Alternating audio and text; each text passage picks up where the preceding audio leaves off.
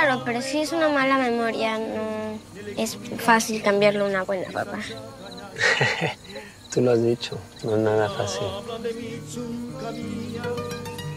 Bueno, es una historia personal, emocional, familiar.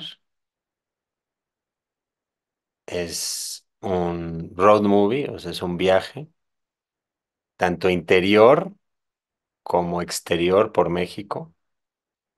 Y es un viaje musical también,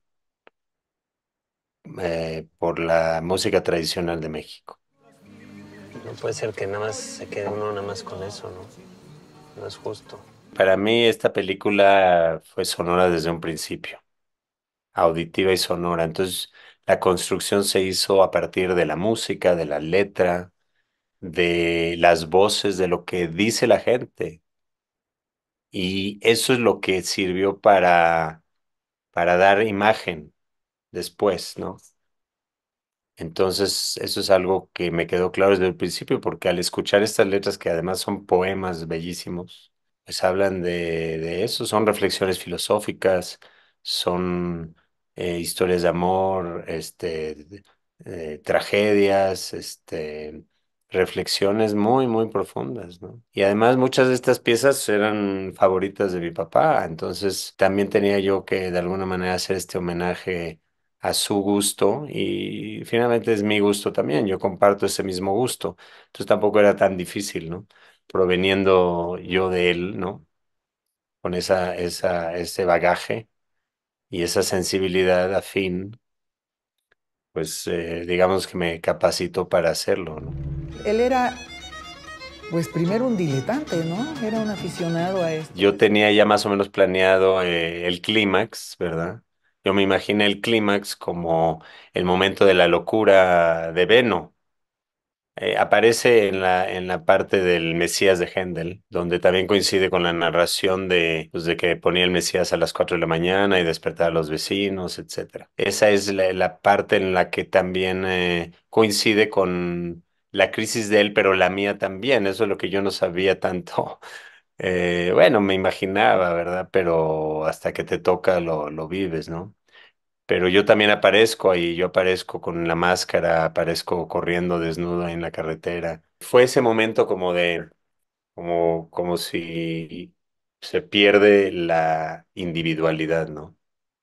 Y ya no sabes si eres tu papá, si eres tú, si eres el director, si eres el personaje, si eres el narrador, quién eres, ¿no? Y eso me pasó a mí. Por supuesto, también era el sentido del viaje, porque si no pasa eso, pues tampoco hay catarsis, ¿no? No hay salida, tienes que tocar fondo, como dicen, ¿no? Y al principio estás cayendo, cayendo, cayendo en el abismo, y hasta que no caes y ya estás en el piso, aunque sea del infierno, puedes levantar la vista hacia arriba y ver que el cielo está allá arriba. Claro, claro, como que eso eclipsa todo lo demás, ¿no? Ese cassette del abuelo yo me lo sé de memoria. Entonces, y yo sé que él lo dirigió específicamente a Beno, con, porque seguramente la idea del suicidio ya la tenía Beno cuando él recibió ese cassette de su papá. Y claro, el papá, pues, eh, a su modo, estaba tratando de prevenirlo, de que no lo hiciera. Y nosotros sabemos que falló. Y pues fallamos. Nosotros como padres fallamos. Somos falibles.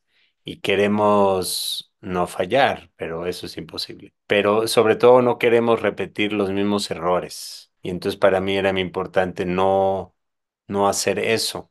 He hecho otras cosas, eso hay que preguntarle a mis hijos. Pero pero esas no, para no repetirlo, porque eso, está- eso es lo que estamos viendo. Y el tema del, de la ausencia del padre, porque si es suicidio o es simplemente se largó, viene haciendo lo mismo. ¿Y cuántos casos tenemos en México del padre ausente? ¿Cuántos millones de casos? Millones y millones. Entonces eso yo creo que sí es una deuda que tenemos cada uno de nosotros nadie la puede saldar por nosotros. Como tenemos la deuda de las muertas, del, feminicidio, de la violencia, del abandono, de tantas cosas, que si no las revisamos, simplemente las repetimos. Y aunque no queramos, dije, ay, chin, perdóname. Pues demasiado tarde, ya lo hiciste. Pues para mí era importante no repetir por lo menos eso y liberarme de eso, liberarme de esa carga. La carga de la muerte, la carga de la, del abandono, la carga del, de la depresión, de la locura, del no enfrentar, de no enfrentar las cosas, no decirlas. La carga de no decirlas, de no decir las cosas es mayor a veces, mucho mayor que sí decirlas.